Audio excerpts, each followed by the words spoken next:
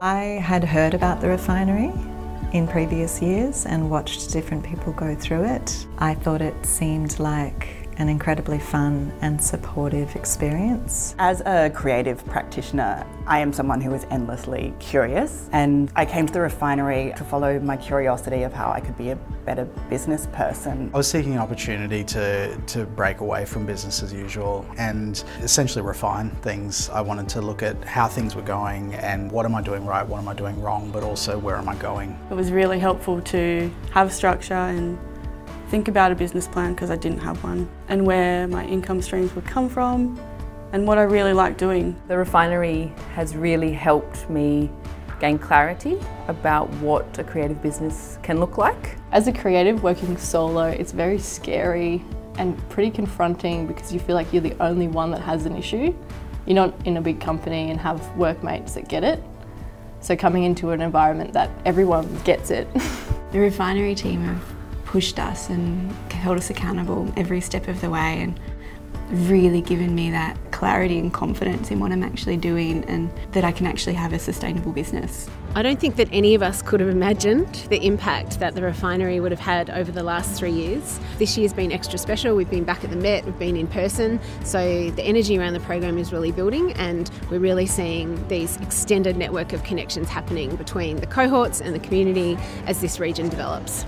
Over the last three years, the refinery has had 43 people all finish the program. We've had over a thousand people attend our events, and each year we've built upon and developed an awesome ecosystem. The diversity of mentors who the refinery engages is absolutely incredible and there's a really strong presence of women founders. It's like a ticket to people. Like it was like, hey, I'm part of the refinery and the mentors were really open and welcoming so they would not just come and mentor us, they're like, here's my email. A memorable moment was when Claire Baldich actually talked to us about taming our inner critic. And people might be surprised that I still have one too, but it was good to develop some strategies to talk back to that critic. Being in the room with the refinery crew today really reminded me at the very beginning of my quote unquote professionalising what I did. I had I needed honest spaces where I could ask questions that felt uncomfortable. You know, we've got a cohort of wonderful, very, very talented human beings and this is where they get to ask, okay, so how do I turn that into a business? How do I keep my integrity and values intact? And what can I give back? People want to buy things that reflect their values. So it's really important when we design our businesses to really have our own values front and centre, thinking about what the story opportunities are that sit around your business rather than just talking to your product at hand.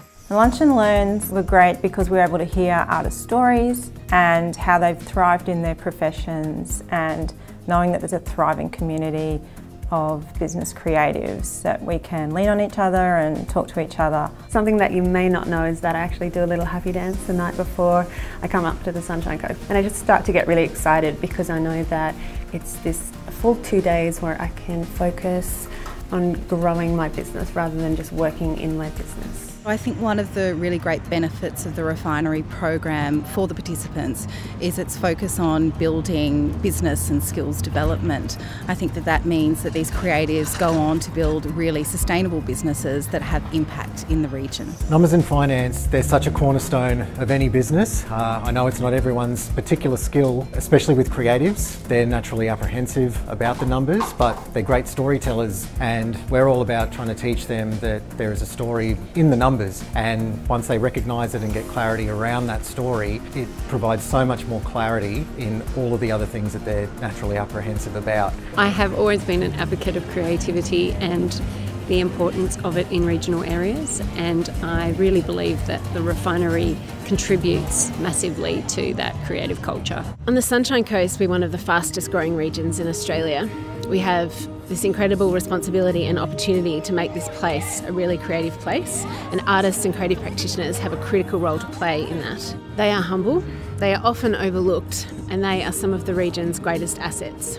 One of the things I love about working with the refinery crew and the creatives is the fact that they're, passionate. Like they start from that place of wanting to do something and they have that real sense of purpose. Whereas for most entrepreneurs we work with, we have to get them to pull that out and actually show more of themselves. Whereas creatives, they, you can see it, they embody it. Because it's been embedded here as the city's going up, it's actually bringing the life, the relationships, the connections, and breathing that kind of life into the concrete. When I discovered the refinery earlier this year, I kind of was like, oh, I wish that I had the refinery back when I was about to go full time because I know that they would have really taken my business ideas and helped me sidestep some of those early mistakes I would have made in just figuring out how much to charge, how much to value myself, how to package my products and how to market them and things like that. So the refinery is something that's very special and I've been promoting it to a lot of my friends who are singer-songwriters and looking at going full time. Sunshine Coast is vibrant. It's got a really up and coming arts and entertainment crew. There's a lot of people here putting back into the local economy by hiring locals um, and creating strong communities. So it's all about that in the end is connecting them up so we can all be sustained in this kind of circular economy. I think it's a super exciting time. I think now there's some amazingly talented creatives that are moving up here and there's a real buzz and real excitement. I think it's just that ability to talk to people about what you do. I wasn't able to articulate it before and now I feel like I could go on and on and on forever. When you know you're kind of starting your business and you're being creative and people might try and put you down or say, oh don't do that, it's too risky. Take the risk. Don't take anything personal and have fun at doing it. To be honest, my biggest aha moment has just been remember I'm a creative and remember what I do and how it actually is super valuable to people. That is something I haven't remembered for a while and it's just really kind of popped into my head and, and I see the value of it. The refineries definitely helped for me to communicate the value of arts, especially in regional areas and what artistic communities can bring to placemaking, tourism, the economy and well-being of people really. People who have new ideas they want to bring into the world often feel a little bit alone in their independence but coming together you realise there's all these other amazing creative people who feel exactly the same way and just need to be shown some of the signposts to navigate their way through believing in themselves and having the tools to actually launch and that's been really joyful.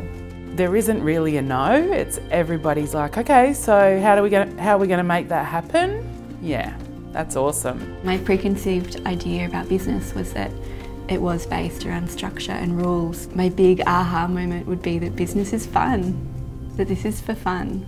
A creative business can be anything you want it to be, and it doesn't have to be businessy, if that makes sense. Watching everybody ride the roller coaster of a creative life where one day you are riding a real high, thinking everything I do is amazing, and then the next day you wake up thinking everything is really not that amazing, and learning that that's all part of the journey. My vision is so much bigger and so much more attainable and achievable. I feel like I've got a grasp on a successful business. I've gained lots of confidence and lifelong friends and just really valuable connections. When I first came into the refinery, I was seeking a sustainable business plan, but what I actually got was self-belief, a reignited confidence, and an insight to the human side of business.